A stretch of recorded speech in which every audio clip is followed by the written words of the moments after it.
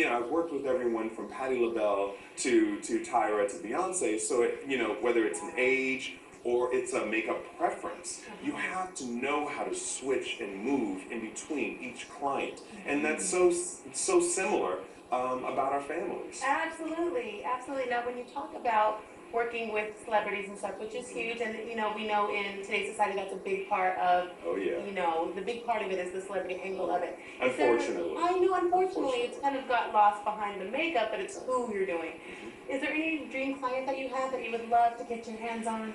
Wow, uh, dream client. Mhm. I've been, you know, I- I've, I've, been asked that before, and I have to say that I've been so blessed. You know, be- everybody well, do Beyonce, no, Naomi Campbell, No, and I, I haven't Cowboy. done. I always say I haven't done Diana Ross. I haven't done Tina Turner. I haven't done Whitney Houston. There are Mm. tons of women that I haven't worked with, um, but you know, I really.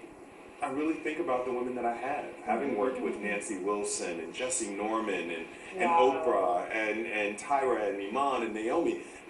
I, I just really look at that as such a blessing that I don't really focus on, gosh, who would I love to work with? Because I'm, I'm really content. Yeah. I'm really content. I yeah, really am. to think who else when Exactly. you have such an amazing resume.